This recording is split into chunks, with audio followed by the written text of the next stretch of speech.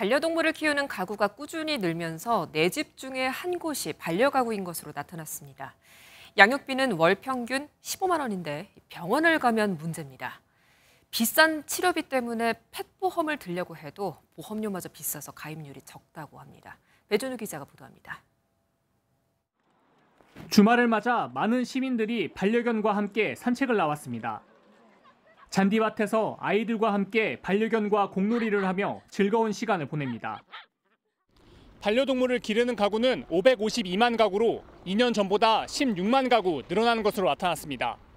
71%는 반려견을, 27%는 반려묘를 기른다고 응답했습니다.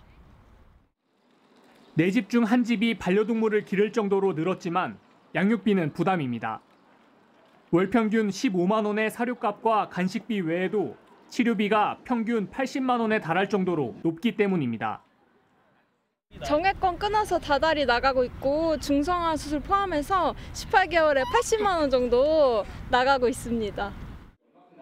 펫 보험은 보험료가 비싸고 보장 범위와 금액이 적어 가입한 가구가 12%에 불과합니다.